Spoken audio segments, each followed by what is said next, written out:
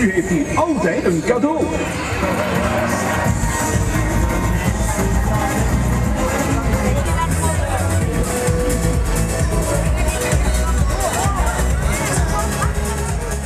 De kermis, het ultieme volksfeest voor jong en oud. Nergens worden onze zintuigen zo tot het uiterste geprikkeld. De kriebels in je buik, misschien zelfs een beetje misselijk. En het zachte plusje van de enorme teddyberen. Zo voelt de kermis.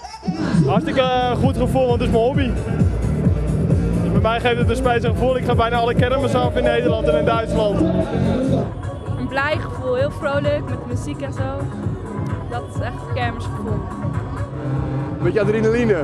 Vooral adrenaline, daar kom ik voor. Echt alleen maar. Geweldig. De trilling in de grond van de muziek voel je vooral. En vermoeide benen aan het eind van de kermis.